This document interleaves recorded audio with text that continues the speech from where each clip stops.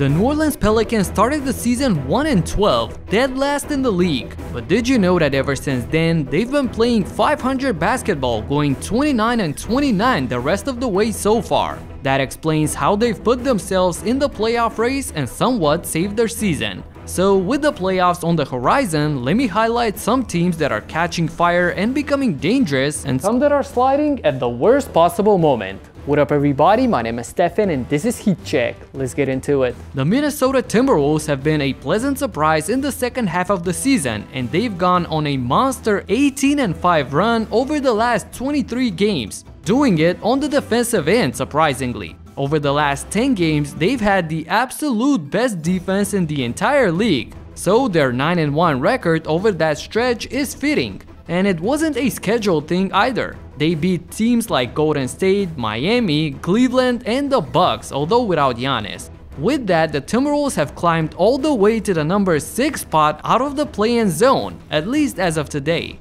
Their next 6 games are brutal, but I bet that the young Wolves look at this as an opportunity since they play against their direct rival, the Nuggets, as well as twice against the Mavs, which could take them even higher if they continue this hot streak. Their leader, Karl Towns, is more and more aggressive, attacking the basket and overall playing extremely well, and he would say that himself. Yeah, I think this is the best basketball I've played in my career. Not because of numbers, but I just think the, you know, uh, with experience comes different ways of impacting the game. And I think this is the most winning basketball I've been playing. You know, I think that uh, I've been finding ways to affect the game in different ways than just statistical. Lead better and, um, you know, also when you need a bucket, uh, finding ways to get that bucket. The Boston Celtics are even hotter, going 19 and 3 over the last 22 games. I made a video about their turnaround and you can check it out in the description, but basically all of it is still valid. If Minnesota had the best defense over the last 10 games, well, Boston is number 1 overall throughout the entire season.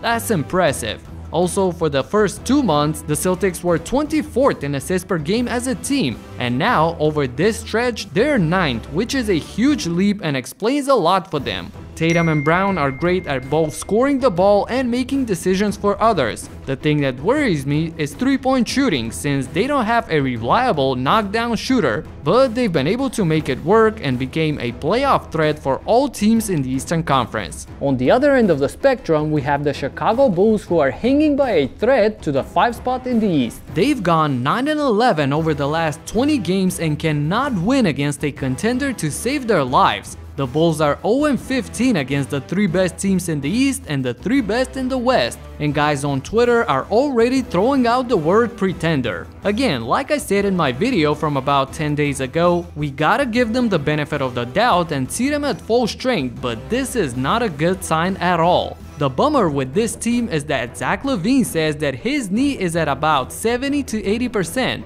He's trying to get through this season and will deal with it in the summer.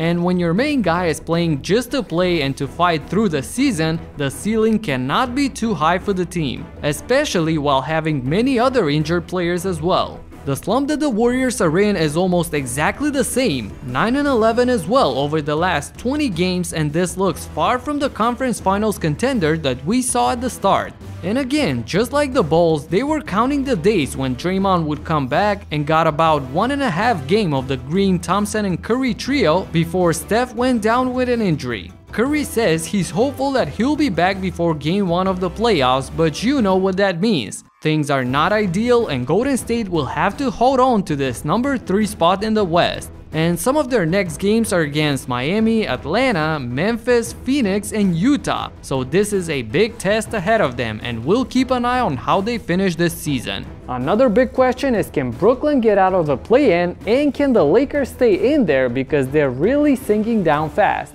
Let me know in the comments. That's it for now. Subscribe and talk to you in the next one. Peace out. Obviously, we know where I'm going come playoff time. I'm sinking down. Peace.